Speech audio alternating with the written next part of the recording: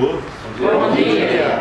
Sejamos todos bem-vindos para mais um dia de missão do setor 13.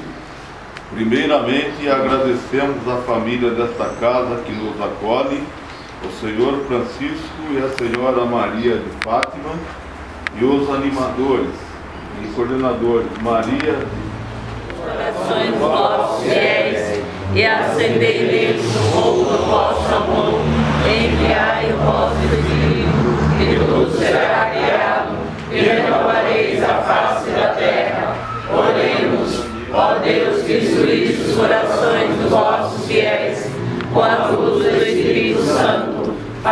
que apreciemos retamente todas as coisas, segundo o mesmo Espírito, e gozemos sempre da sua consolação. Por Cristo Senhor nosso. Amém. Cheios do Espírito Santo, nos reunimos na alegria e na confiança para mais um dia de missão. Pela graça do batismo, nos tornamos missionários do projeto de Deus. Conhecer a Jesus pela fé é a nossa alegria, segui-lo é uma graça. E transmitir este tesouro aos demais é uma tarefa que o Senhor nos confiou e, ao nos chamar, é ao nos escolher.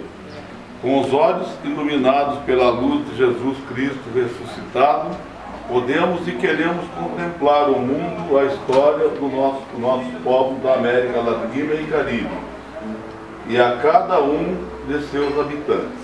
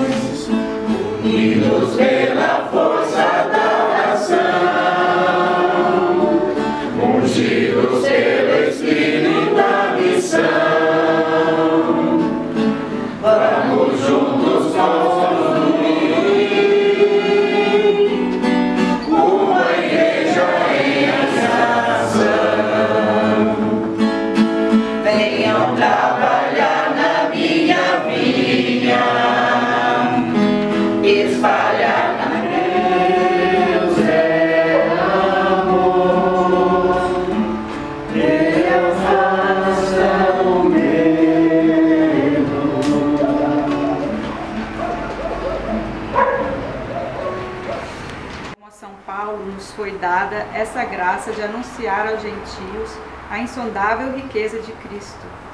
A novidade de vida nele é boa nova para o homem de todos os tempos. A ela todos são chamados e destinados, todos de fato a buscam, mesmo se às vezes confusamente, e têm o direito de conhecer o valor de tal dom e aproximar-se dele. A igreja, e nela cada cristão, não pode esconder nem guardar para si essa novidade e riqueza, recebida da bondade divina, para ser comunicada a todos os homens. Eis porque a missão, para além do mandato formal do Senhor, deriva ainda da profunda exigência da vida de Deus em nós. Aqueles que estão incorporados na Igreja Católica devem se sentir privilegiados e por isso mesmo mais comprometidos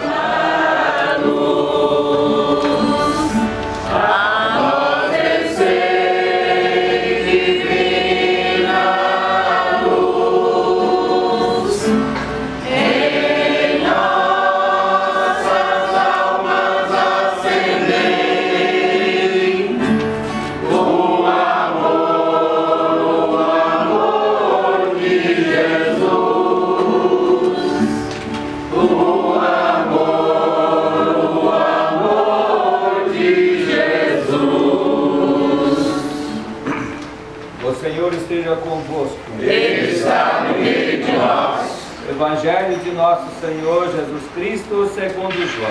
Glória a vós, Senhor.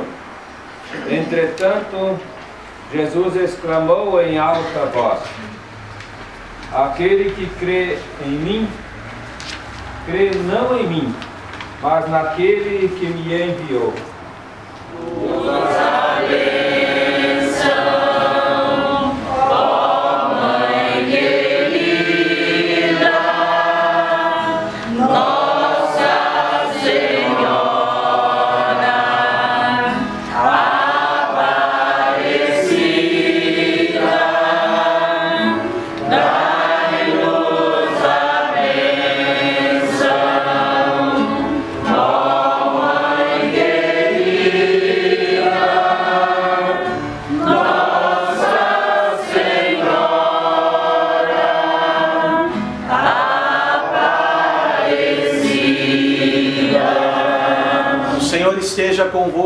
convosco. Desça sobre cada um de vocês, famílias, preocupações, sobre as famílias que vocês vão visitar, sobre as pessoas que participam das comunidades eclesiais de base nesse setor, sobre todas as pessoas com quem nós teremos contato, a bênção de Deus Todo-Poderoso.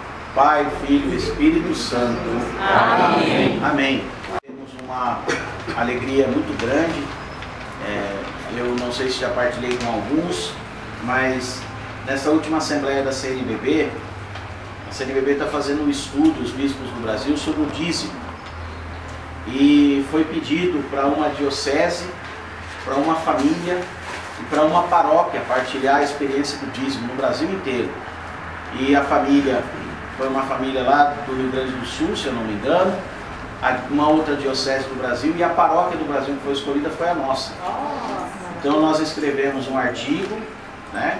E o subsídio que está sendo divulgado para estudo no Brasil inteiro, o relato que tem sobre a experiência do dízimo, que está na mão de todos os bispos do Brasil, é o relato aqui da nossa paróquia, de uma comissão que foi composta para escrever esse relato.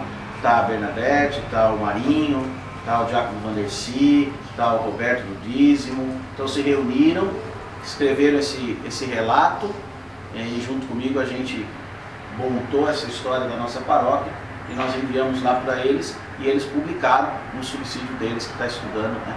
Então a nossa paróquia hoje está servindo como uma referência nesse trabalho do dízimo e nesse trabalho a gente diz que ah, o sucesso que a gente tem, graças a Deus, o comprometimento com o dízimo na nossa comunidade se deve também à pastoral da visitação e às sedes que são atuantes dentro da nossa comunidade. Então, aproveito para dar notícia e para agradecer vocês todo o esforço que vocês fazem em favor da evangelização do reino de Deus e da nossa paróquia.